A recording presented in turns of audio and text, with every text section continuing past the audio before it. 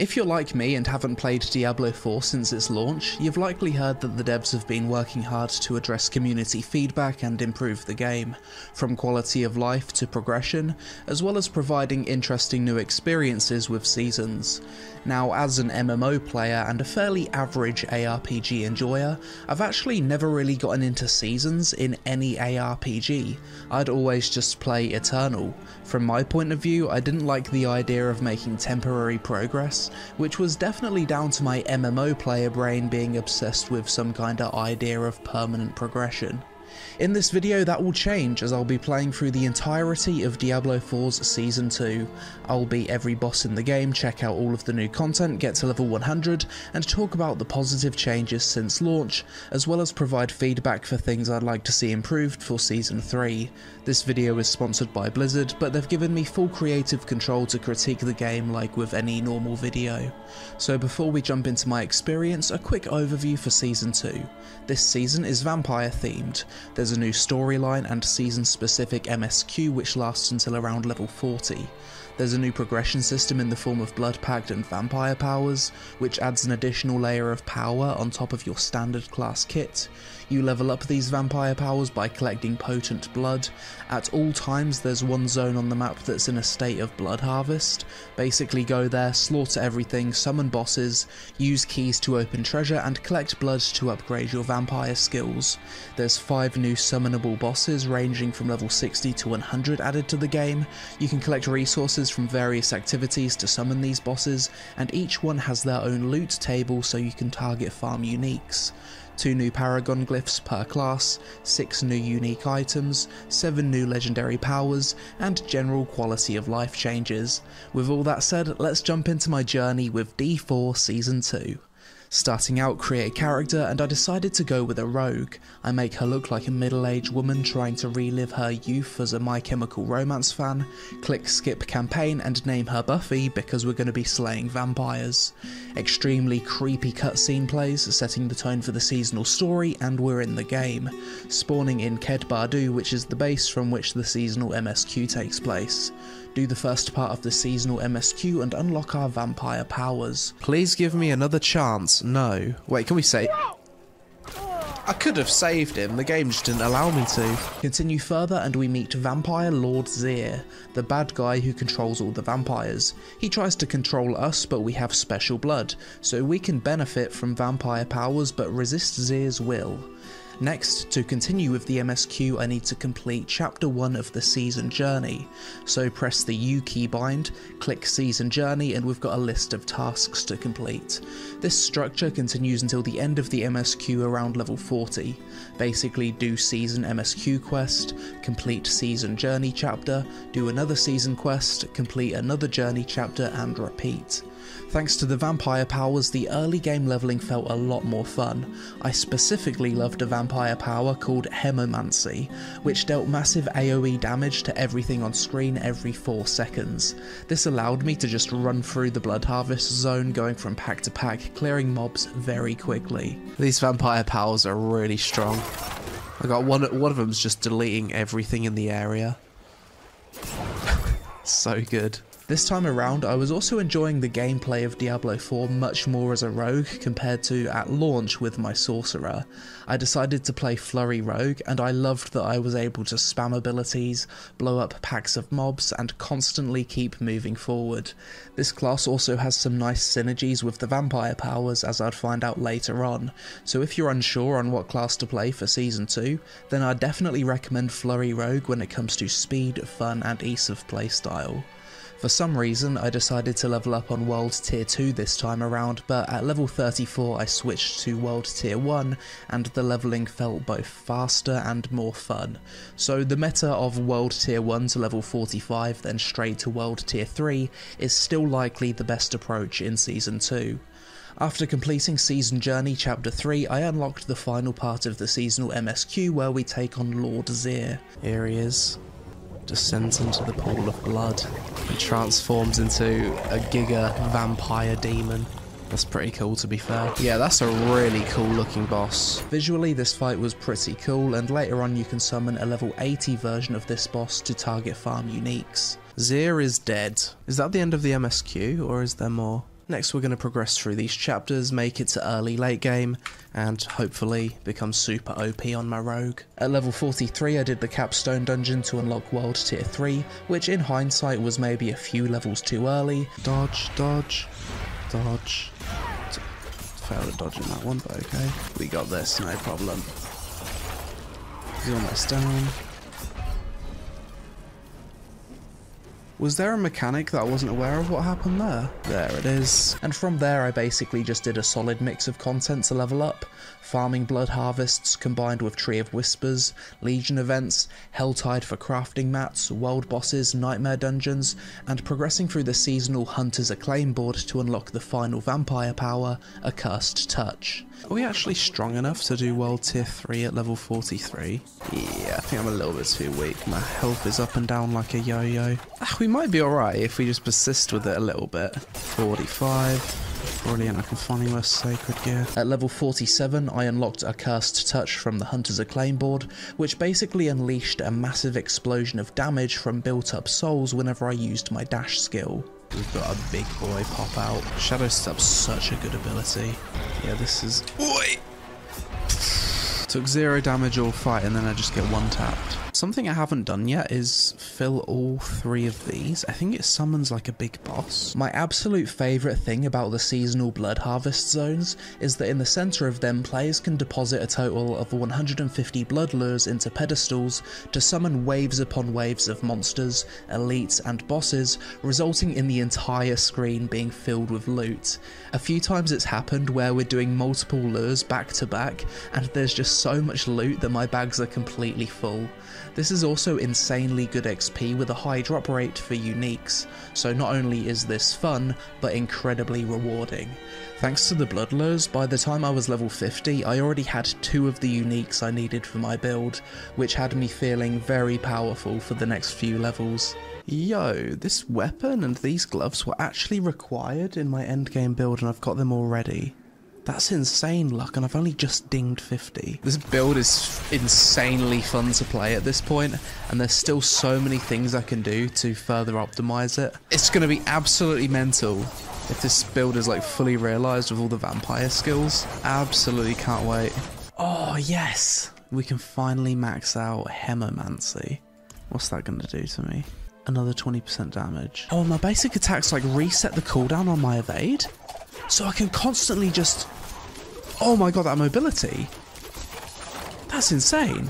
Wow, I, sh I, should have switched to the endgame vampire powers much sooner. Season 2 certainly succeeds in feeling like a completely different experience compared to the launch of Diablo 4, which is really what I was looking for. It doesn't feel like I'm playing the same game as I was at launch, which is basically what I wanted, and it's what I always want if I return to an ARPG during a season. After experiencing these vampire powers, it would be extremely difficult to go back and play on the Eternal Realm after this. It's like you've got access to a whole new toolkit, which changes your build and is just more fun. It's like an added layer of fun on top of the previous gameplay. Oh, yes, big damage.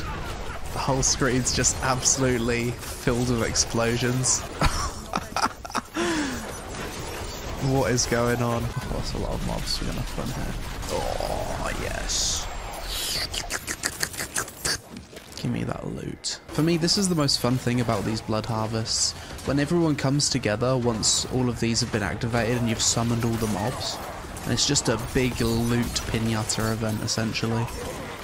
Screen's just full of explosions. Loot's dropping everywhere. It's just a lot of fun. Super rewarding as well. Legendaries dropping everywhere. Absolutely love it. Very quickly run out of inventory space though. At level 60, I realised I had a bunch of summoning items in my consumable tabs for the new bosses you can summon for targeted unique farming, so I went beneath the Tree of Whispers and took on Varshan. So we go to the Malignant Altar. Varshan, level 55, so lower level than me. Lots of stuff to dodge. Dodge. Great dodging. I'm surprised he's only level 55, considering I'm level 60. Now he's stunned, nuke him down. Right. Anything good? Oh, we got a unique. Nice. Is this good? Yeah, I beat Varshan quite easily due to being 5 levels higher and the World Tier 3 version being really easy. But in World Tier 4, this boss is a bit harder with him being level 75 and dealing much more damage. One thing to note about these summoned bosses is that the levels are static, so you can just out-level and out-gear the lower level ones. From level 60 to 69 I just spammed Nightmare Dungeons to level up my glyphs, as well as do Hell Tides whenever they were up. Oh, can we kill the Butcher? Are we strong enough? Big damage? Okay, so half health. First time I've ran into the Butcher since playing. We've got him, no problem. There it is. Anything good? Peon 1, Butcher 0. Level 69. Nice. Next, it was time for the Capstone Dungeon to unlock World Tier 4. Ooh, what was that? I just got clapped. Oh yeah, we're nuking them down very quick. Oh, okay, okay. Respect the boss, respect it. There it is. World Tier 4 unlocked. 200% increased XP. Now we're going to level up even faster. At level 71 I tried to fight the world's tier 4 version of Varshan. In hindsight I took him on a bit early though and he absolutely wrecked me and ensured that I'd actually need to deal with his mechanics this time around rather than just nuke him down like in the world tier 3 version. I'm not ready yet. Yeah, I can't do that. That's that's a massive increase in difficulty. Back to farming, I got some nice upgrades, and started to reach the point of peak fun at around level 75 where my build was fully online, I'm deleting packs of mobs, progression is feeling good, and I've got multiple goals to work towards. Oh my god, there's like so much going on on screen that the game is struggling to handle it. Pop the shrine, 100% crit, just go through the map and just absolutely decimate everything. One shot every- oh my god, it's so fun. I love those bloody crit shrines. That they're my absolute favourite. Just blinking around. It looks like I'm speed hacking. But no, I can actually just teleport around so much. oh, that was good fun. Oh, just... Okay, I'm starting to get to the point of peak fun. My build isn't even fully online yet. Big damage. Oh, yes. We are so strong now.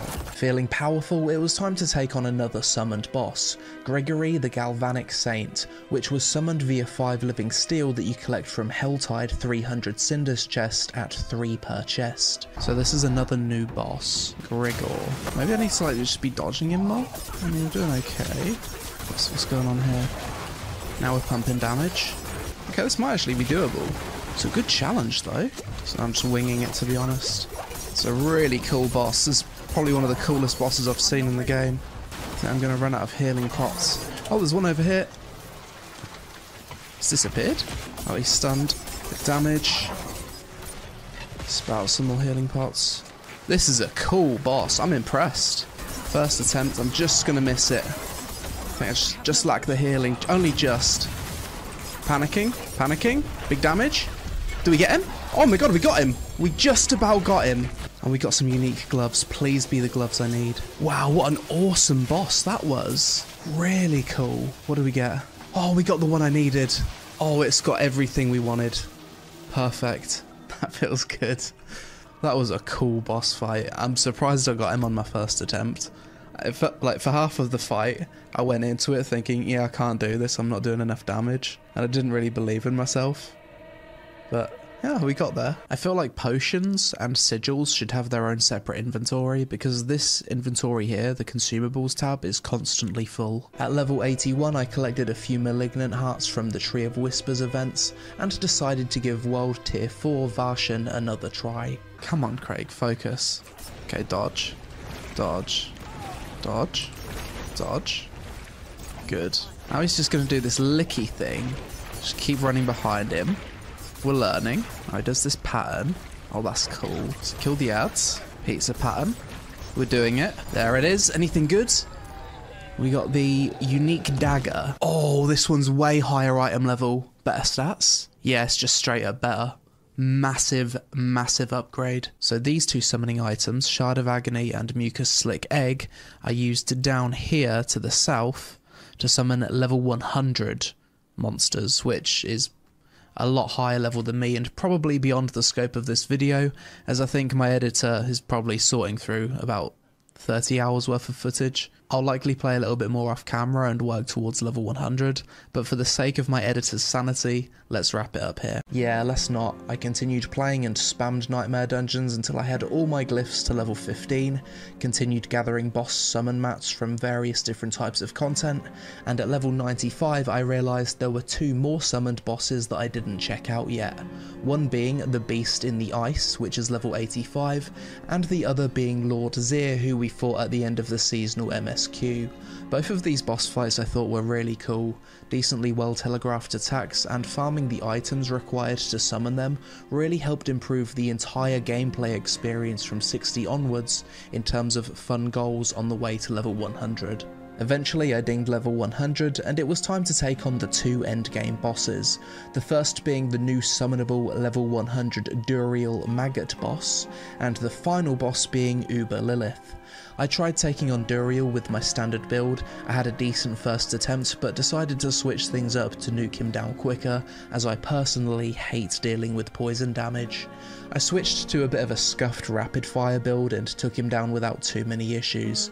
Now what most people actually do is farm Uber Duriel in groups and take turns using the summoning mats for more attempts to increase the chances of getting an Uber unique drop, which are apparently dropping at quite a reasonable rate compared to at launch, where Uber uniques were so rare that you'd just never see one.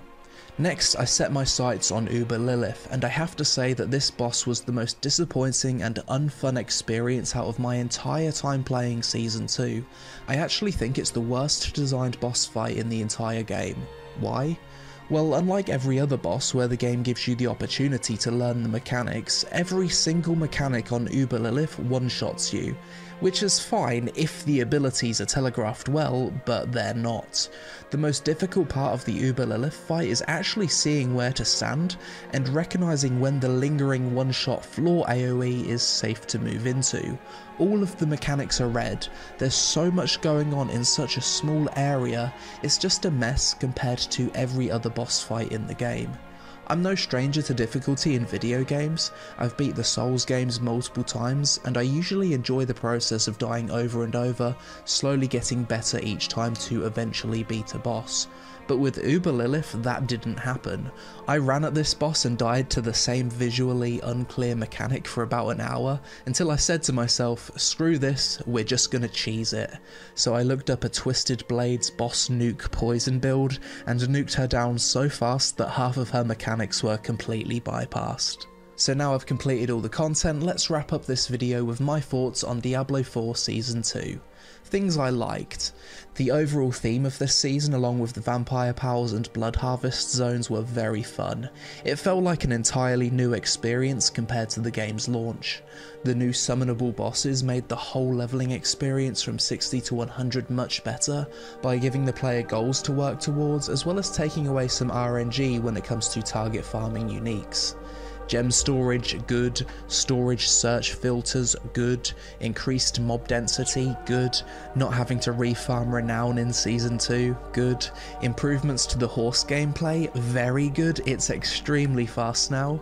Season Pass. Fun fact, this is the first Season Pass I've ever fully finished in any game ever. You fully complete it around level 83 to 85 just by playing the game. I appreciate that I didn't have to go out of my way to do any tedious tasks to finish it.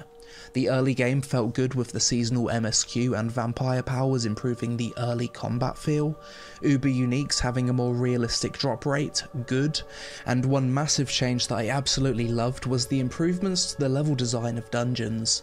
Previously I felt that there was so much backtracking in dungeons that back at launch I genuinely disliked running dungeons in Diablo 4. Now though there's much less backtracking so I actually enjoyed dungeons this time. Things I'd like to see improved for Season 3. The number one thing I want added to Diablo 4 is a loot filter. Apparently this is in the works, but in Season 2 there were times during the Blood Harvest where there's just so much loot on the floor that I just couldn't be bothered to loot it. And in fact, seeing so much loot during the mass Blood Lure chains started to stress me out knowing I've got to pick it up and sort through it. Please Blizzard, let us use the mount sprint inside of towns. Using the mount in the world feels great, except for when you're in town. increase the Murmuring Orbs cap and allow us to spend more orbs per roll for a chance at better gear. I was acquiring Murmuring Orbs so quick that I gave up spending them and just left it capped out, which didn't feel good.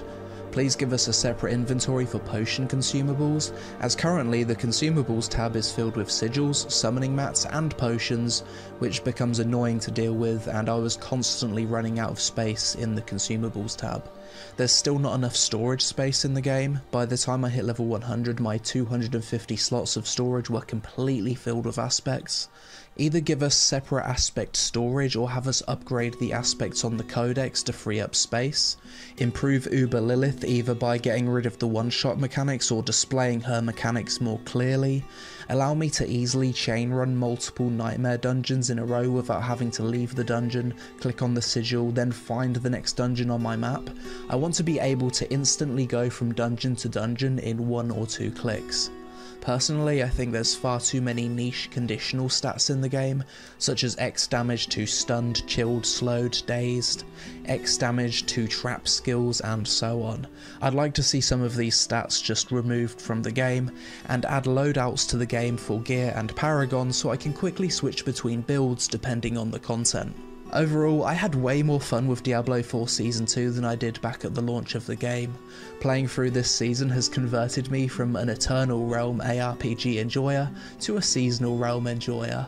I actually had so much more fun with Seasonal compared to Eternal that I can't see myself ever playing Eternal again. Season 2 brought a lot of great changes to the game, and my feedback for things to improve for Season 3 is for the most part more quality of life stuff. If you're like me and haven't played Diablo 4 since the launch, or you have MMO player brain and don't see the appeal of playing seasonal, then I highly suggest you give Season 2 a try. It genuinely feels like a fresh experience, and it seems like Diablo 4 is improving with every major update. But that's it for this video, as always let me know your thoughts on Diablo 4 Season 2 in the comments below, and let me know if you also had a similar mindset that I used to have about playing Seasonal versus Eternal. Social media on screen, help us out with a like to appease the algorithm gods. Thanks for watching, and I'll see you in the next one.